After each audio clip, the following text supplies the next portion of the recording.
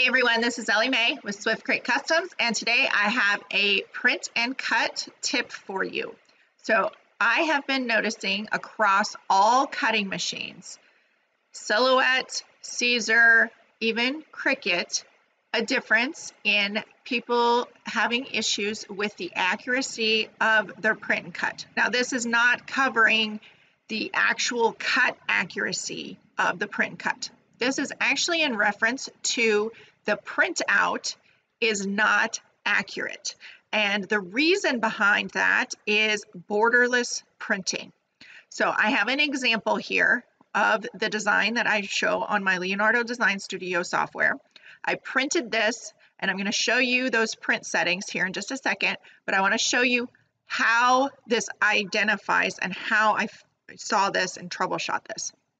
So here is a photo of two printouts. So I have on the bottom, on top of my light box, I have the borderless print option. And then on top of it, I have stacked a normal print job. As you can see in this photo, if you have the borderless option turned on in your print settings, that affects the size of your actual printout. You can see that the registration marks are in different locations and the size of the actual print of these circles is in different locations. That can definitely affect your print and cut results. Your print and cut page has to match exactly what you see on the screen. So for instance, the, the what I see on my Leonardo Design Studio screen here and what shows on the borderless option is not the same. They are not going to line up. They are not going to work properly. It, and now, maybe somebody will have an accurate print and cut, but in the terms of normal function, it's not going to give you an accurate cut because, as you can see, the sizes are different. Now, I want to show you where you can change this option for the Leonardo Design Studio software. And I want to first say that all printers are different. So my printer menus may not look the same, and I am on Windows 11, which also looks a little bit different. Um, so you will need to look into your printer settings. And the other thing, the second thing I want to say is test this yourself. It's very simple to test it yourself. I'll show you how to change the settings and then you can print out a page with just regular copy paper and you can use any image that's a print and cut image.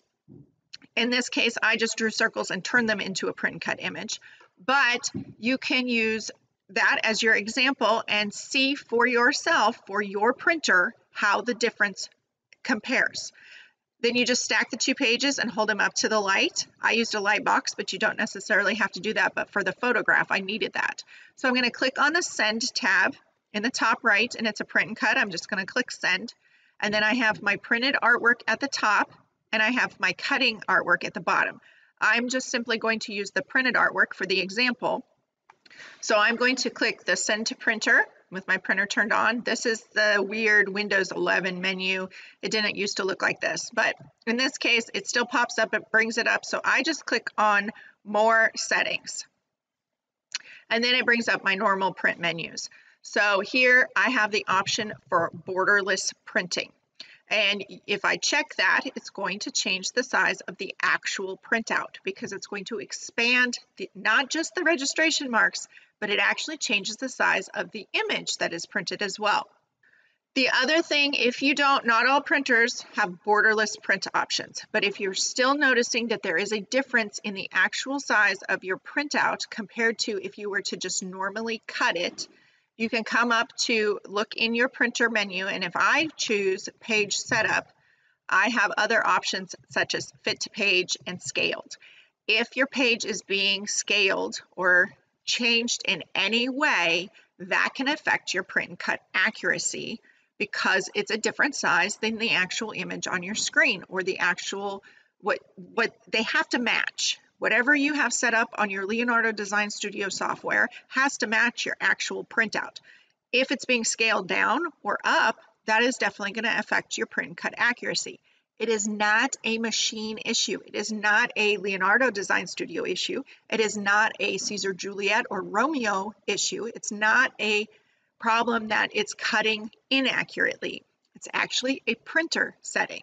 So when you're doing print and cut, there are several factors in it from your software, your computer, your connections, your wireless connections to the Siser uh, wireless connections. I want to clarify that wireless connection to your printer, wireless connection if you're using that for Siser, Juliet, or Romeo, things can interfere, and then it's the actual machine cutting.